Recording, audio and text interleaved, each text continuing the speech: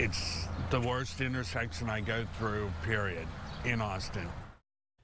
That's quite a statement. Today, TxDOT breaks ground on a new project at an intersection some are calling the worst in Austin. That's Parmer Lane and I-35.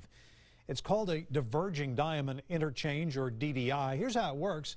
Drivers coming from either direction on Parmer will momentarily shift to the left side of the road before they either continue on or turn onto the highway feeder road. As for people coming off the highway, they can make an easy turn if they go right or make a pit stop at a light if they are turning left.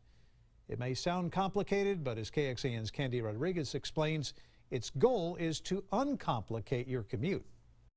Bill Heckel has no time to waste. A busy businessman, he's up early running his errands. Today, he's dropping off his laundry.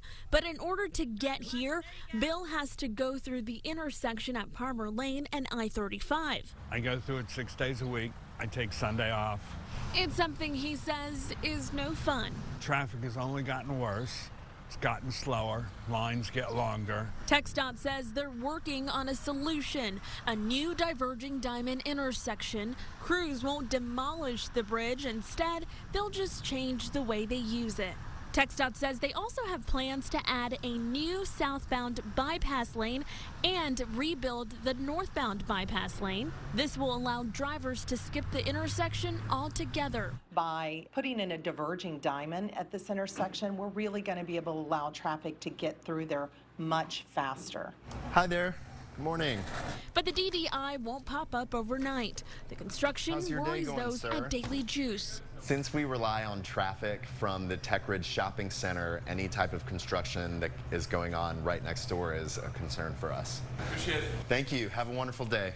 Candy Rodriguez, KXAN News.